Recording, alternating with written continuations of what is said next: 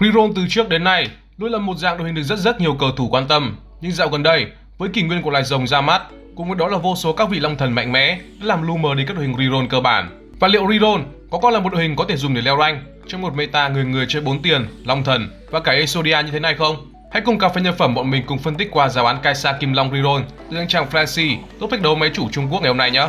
Trước khi bước vào clip, đừng quên cho tụi mình một nút like, share, đăng ký kênh, đồng thời ấn vào cái chuông thông báo bên cạnh để nhận được những thông báo mới những khi tụi mình ra video nhé.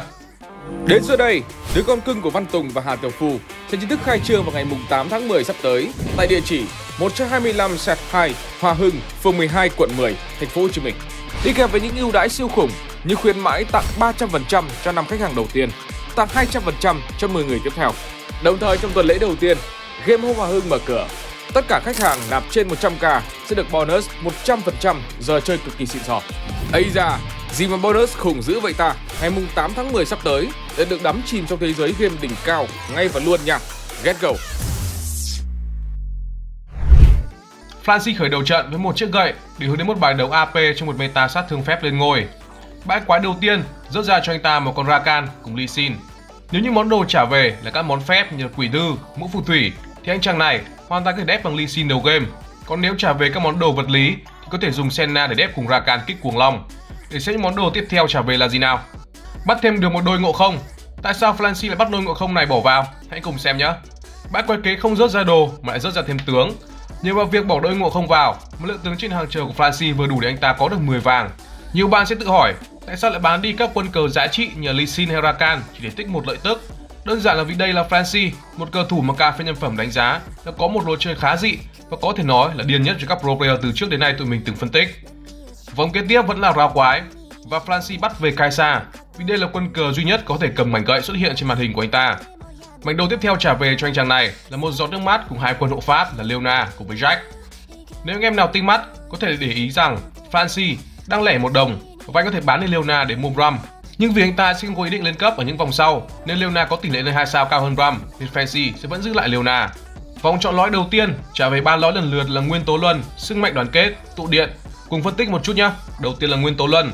Đây là một lõi cực kỳ ngon với những bộ cờ có chủ lực cần ra nhiều chiêu Đồ của Fancy hiện tại có cho mình một giọt nước mắt và gậy, hoàn toàn có thể lấy nguyên tố luân để hướng tới một bài đấu som pháp sư trong meta, hoặc các bộ solo như là Kaisa hoặc là Lee Sin chiến binh rồng. Nhưng cái tệ của loại này đó chính là giai đoạn đầu game không có quá nhiều khả năng tạo đột biến, bởi lượng quân địch lúc này chỉ khoảng 3 hoặc 4 nên Flancy bỏ qua chiếc lõi mana khá ngon này. Lõi thứ hai đơn giản là cho một trang bị lời thầy hộ vệ và bắp toàn bộ ứng hào quang của trang bị lên 33%. Lõi thứ ba là tụ điện, một lõi để đánh win streak mà rất mạnh đầu game nhưng sẽ yếu dần về late. Công bằng mà nói, cả ba lõi này Flancy đều có thể lấy được, nhưng vì anh ta đang bị thọt đồ ở vòng đánh quái, nên Flancy quyết định lấy chiếc lõi thứ hai, sức mạnh đoàn kết có thêm một trang bị tanh là lời thầy hộ vệ. Cho Kaisa cùng gặp đôi Jack và Leona vào sân. Đối đầu với là thượng long hách vàng đầu game, lắp cho Leona lời thề hộ vệ. Fancy có cho mình trận thắng đầu tiên. Vòng kế tiếp, Fancy up cấp 4 và cho thêm Manfa vào để kích thủy long, bắt đầu tích số vỏ sò ngay và luôn. Lần này Caponia cấp 4 có một chiếc lõi thông thoáng trông có vẻ hơi lực nên Flashy quyết định lắp thêm cho Kaisa tất cả các mảnh trang bị còn lại để ra một chiếc quyền trượng thiên thần, biến lượng sát thương từ con nàng thủy long này trở nên đột biến hơn khi combat trở nên kéo dài hơi. Và kết quả cho sự tối ưu trang bị đó là một chiến thắng dành cho Flashy. Cặp thêm một nhà thượng lòng nữa, nhưng bên kia lại có một con Manfire 2 sao tanh cực trâu, khiến cho Kaisa đục xuyên qua cục đá to này không nổi. Flashy nhận về trận thua đầu tiên. Tuy thua, nhưng Flashy vẫn quyết định ở pre-level ở round 2.3 để hút một điều gì đó kỳ diệu ở level 5 chăng? Vòng đi chợ, Francis lấy về cho mình con Amphelot cầm gậy phép và hãy nhìn xem, điều kỳ diệu đã xuất hiện trên cửa hàng của Francis.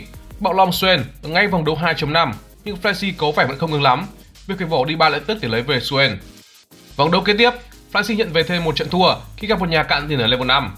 Sau khi nhận về hai trận thua, Francis thay Volibear vào vị trí của Malphite, đổi Thủy Long lấy Chiến binh rồng cùng một món trang bị Kim Long, đó là kiếm của tay bạc, một trang bị tăng tốc đánh rất phù hợp với các quân cờ đánh tay nhiều như Kaisa. Mặt khác, vì Flancy có một lượng vàng không hề nhỏ nên trang bị kim long này sẽ tăng rất nhiều tốc đánh cho chủ sở hữu và tăng khả năng hack được vàng. Thăng cấp Kaisa thành thần long đại hiệp để cô nàng trâu hơn. Combat kế tiếp vẫn là một trận thua cho Flancy nhưng nhờ món trang bị kim long mà anh chàng này hack thêm được hai vàng. Vòng đánh quái, Frenzy lại tiếp tục hack thêm một vàng nữa nhờ trang bị kim long. Những con quái đá trở về cho anh một mảnh giáp, một mảnh găng tay và cùng với đó là một giọt nước mắt. Frenzy up cấp 6 để bỏ lại Manfire vào kích đội hình thêm đấu sĩ và thủy long. Tôi ưu đồ bằng cách ghép cho Kaisa một cây crit phép và thêm một chiếc lời thề hộ vệ cho Jack. Các bộ bài đấu thủy long cũng đánh bằng Kai'Sa như Francie, nhưng lượng đồ của quân cờ của Francie hoàn toàn ao trình đội hình bên kia và đó là một trận thắng dành cho Francie. Vòng tròn lõi thứ hai lần lượt đấu sư, cặp đôi hoàn cảnh và chiến lợi phẩm.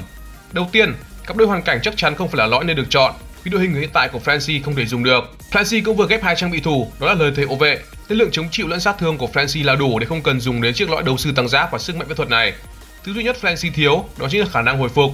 Và vừa hay, chiếc lõi thứ ba lại là chiến lợi phẩm, giúp cho mỗi băng hạ gục về sẽ hồi tới 700 máu cho quân cờ kết liễu, nâng cấp được thầy giáo 3 lên 2 sao. Có thêm một chiến thắng nữa, trước một nhà chỉ có chúng mình Ezreal là một sao làm chủ lực, nâng cấp được Jack lên 2 sao và gặp thêm một nhà Ezreal chủ lực nữa và số phận con Ezreal này không khác gì còn nãy là bao. Lại một chiến thắng nữa dành cho Flancy. Vòng đi chợ, Flancy lấy về một quân Kaisa, cầm kháng phép và bắt đầu xả một chút tiền ở level 6 để nâng cấp Kaisa lẫn Volibear lên 2 sao. Tiếp tục kéo dài chuỗi thắng của mình, bắt được ngọn lửa Winstreak ngay trước Rao quái, nhưng ngọn lửa đã bị dập tắt khi gặp một nhà Varus 2 sao cùng đồ đam và chiếc lõi phóng hỏa cực mạnh để counter khả năng hồi máu từ chiến lợi phẩm. Nhưng ngọn lửa tắt đi là ngọn lửa của nhà Varus, chứ còn Flashy vẫn sứ áp đảo của quân Kaisa ba đồ cùng một lượng tốc đánh khổng lồ cộng thêm từ trang bị kim long tích được gần 70 vàng. Và đó là một chiến thắng kéo dài chuỗi thắng của mình lên đến 5 đến từ Francie. rồi một chút được vòng đánh quái, thu về được Jack 2 sao. Vòng quái trả về cho Francie một áo trong bạc của một con rồng. Tiếc là không phải kim long Idas nên Francie đành phải bán đi ngay sau đó. Và vừa nhắc đến Tào Tháo thì Tào Tháo đến ngay. Một con Idas xuất hiện ở cửa hàng ngay tại level 6. Nhưng có vẻ như anh chàng này vẫn không muốn kẹp thêm Idas sớm vì giờ form của Francie cực kỳ ổn áp và anh này chỉ cần slow roll các quân cờ lên 3 sao mà thôi. Liên tục roll và bỏ qua khá khá Idas. Jack xuất hiện khá nhiều và Francis thành công nâng cấp cho mình Jack 3 sao trước khi tiến vào vòng combat tiếp theo. Tối ưu thêm cho Volibear một món trang bị được tăng sức mạnh từ lõi sức mạnh đoàn kết nữa, đó là cốc sức mạnh. Tiếp tục có trong mình một chiến thắng trước nhà ám long, không có khả năng chống trả trước sức mạnh của Francis. Vòng chọn lõi thứ ba lần lượt nhất thống, siêu hùng hiện diện và cuối cùng là lõi trí tuệ siêu công nghệ. Khỏi phải lan tăn trong ba lõi, thì một lõi cho khả năng hồi năng lượng mỗi giây như trí tuệ siêu công nghệ chắc chắn là chiếc lõi ngon nhất. Francis pick ngay cho mình chiếc lõi thứ ba, không cần phải đo gì nhiều. Tiếp tục roll một chút nữa để có cho mình quân giáp thứ sáu. Sau khi chọn lõi xong, thì liền đối đầu với một nhà bạo long pháo thủ cùng combo zig quen thuộc. Tuy sở hữu trong mình một lõi chuyên dụng cho đội hình pháo là đạn nảy, nhưng lượt đạn này không đủ để khiến cho Kaisa của Frenzy trở nên xây sát một chút nào. Một chiến thắng nữa dành cho nhà Frenzy. Về nhà, tiếp tục roll. Lần này Frenzy có phần roll hơi mạnh tay xuống 50 tiền. Cốt từng lấy chưa được quân Jack 3 sao nhưng không thành. Vòng đấu kế tiếp, gặp nhà cấp 7, sở hữu cả Som 2, lẫn Pantheon 2 sao cầm vũ khúc tử thần. Lượng sát thương đến từ các chủ lực bên phía bên kia là quá sức chống chịu của dàn tanh nhà Francie. Francie nhận về một trận thua đáng tiếc, mất cho mình chuỗi tháng 7 và chuẩn bị tiến vào vòng đi chợ nào. Ở vòng đi chợ, Francie lấy về một con Seraphine cầm kháng phép và về đến nhà tiếp tục roll để update đội hình lên 3 sao và đã update lên Ovolibe 3 sao rồi. Đối đầu với một nhà Saya băng hội ở level 8 với Kaisa 2 sao ba đồ sát thương và một con ngựa chiến cát chiều ngay khi vừa vào trận, Francie tiếp tục nhận về một trận thua nữa. Về đến nhà, update được thêm quân Jack tự ra trong shop. Lần này thì Francie tận dụng luôn cái đai máu mới rớt ra từ quà thủy long của round trước để canh đòn một pha phong kiếm vào quân cờ chủ lực của nhà bên kia sẽ gặp. Với việc mất đi chủ lực, nhà Flancy nhanh chóng dọn dẹp giàn tanh và kết liễu luôn một con đề ra không có khả năng một cân năm. Rao điều ước rồng thần là một viên long châu tỏa ra ánh sáng màu vàng long lanh óng ánh kiêu xa. Francis từ từ rôn và lựa chọn món đồ ánh sáng ngon nhất. Và cuối cùng, anh đã chốt được combo hai đai máu, cùng với đó chiếc sô zin ánh sáng, hay còn được gọi với cái tên mỹ miều hơn là ngọn giáo Hirana. Tháo đồ kim long và cho Kaisa ngọn giáo Hirana, rồi tiếp tục roll update cho mình Kaisa 3 sao trước khi bước vào vòng đấu mới. Kép thêm cả giáp máu cho Jack và thêm cả lượng giáp ảo từ hộ pháp lẫn lời thầy hộ vệ. Một lần nữa, lốc được cho mình chủ lực phía bên kia, nhưng có vẻ như Savannah vẫn đang được chơi game. Hỏa Long tung cánh, đáp đất khe lửa vào toàn bộ dần tanh của Flancy. Nhưng hai quả lời thế hộ vệ nói không với lượng sát thương mà Savannah gây ra. Không có một con cờ nào ngã xuống, bởi lượng giáp được cộng hưởng bởi lõi sức mạnh đoàn kết là quá nhiều. Nhưng khoan đã, Saya đã đáp xuống đất và bắt đầu bắn ra những cộng lồng xuyên giáp rất rát về phía các con cờ của Francie. Giờ chỉ còn mỗi Saya và Kaisa solo với nhau. Foot Boozer Up đã được kích hoạt và lượng sát thương từ một con Kaisa tích phun số từ quyền trượng thiên thần là quá đủ để one shot one kill vị trí của Saya rồi. Một chiến thắng nghẹt thở dành cho Francie. Francie up cấp 7 để tăng tỷ lệ xuất hiện các quân cờ mạnh mẽ hơn và update cho mình một quân set vào đội hình. Lần này Francie đối đầu với một hình ám long, Siphon lao xuống vô lấy vị trí của Kaisa, nhưng lượng máu hồi lại từ lõi chiến lợi phẩm là quá khủng khiếp, khiến cho Kaisa lật kèo chiến thắng nhà Siphon kia. Vòng kế tiếp, một lần nữa lốc thành công cho mình vị trí chủ lực của đối phương là Lee Sin và tất nhiên Lee Sin đáp đất có lúc hàng chục tên lửa từ cơn mưa Ikathia của Kaisa nhắm thẳng vào vị thầy tu mù rồi. Một chiến thắng nữa dành cho Flancy Vòng đi chợ lấy về cho mình một quân Zoe cầm ấn Kim Long. Nhưng vào để xem món trang bị Kim Long là thứ hai là gì nào.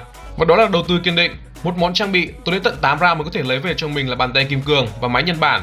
Nghe chừng có vẻ là khá lâu nhưng Frenzy vẫn quyết định dùng luôn chứ không bỏ đi một quân Kim Long nào hết. liên tiếp chiến thắng hai vòng đấu nữa.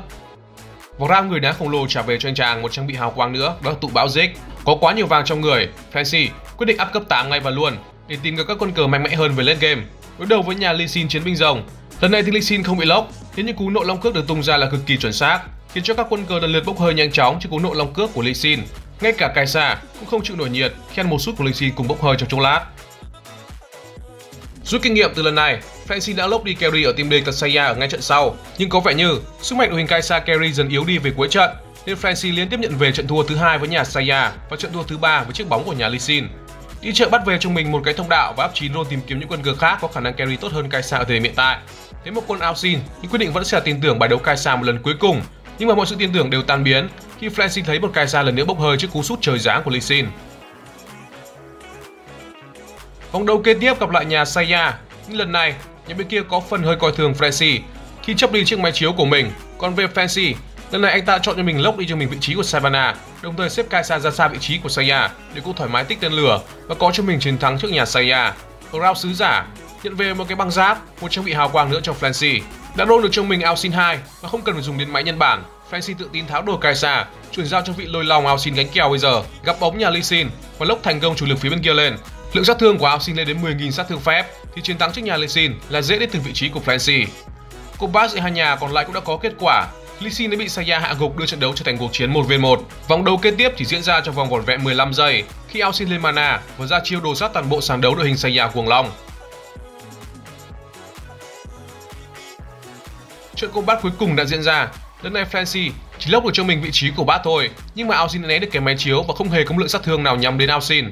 Ao Sin lên mana và một lần nữa càng quét hết đội hình Saya đem về cái top 1 cho Fancy. Và vừa rồi là giáo án Kaisa Reroll đến từ vị trí cờ thủ tốt thách đấu Trung Quốc là Fancy. Nếu anh em thấy giáo án này hay và bổ ích, có phần cho anh em mở rộng đội hình xoay quanh các trường phái Reroll thì đừng quên bỏ lại cho tụi mình một like, share, subscribe, đồng thời nhấn vào cái chuông thông báo để không bỏ lỡ bất kỳ thông báo mới nhất của tụi mình nhé. Còn bây giờ thì xin chào và hẹn gặp lại. Mùng 9 tháng 9, siêu sale ngày hội trăng rằm cùng shop cà phê nhân phẩm.com. Giảm giá toàn bộ tài khoản, sở hữu ngay tài khoản 100 skin chỉ với 99k. xã ác tồn kho, không lo về giá. Với danh mục xả ác tồn kho giảm 70%. Nick giá rẻ, chế độ bảo hành một đổi một, uy tín top 1 Việt Nam. Mua càng nhiều, ưu đãi càng lớn, chỉ có tại shopcafeNhân phẩm.com từ ngày 6 tháng 9 đến ngày 12 tháng 9.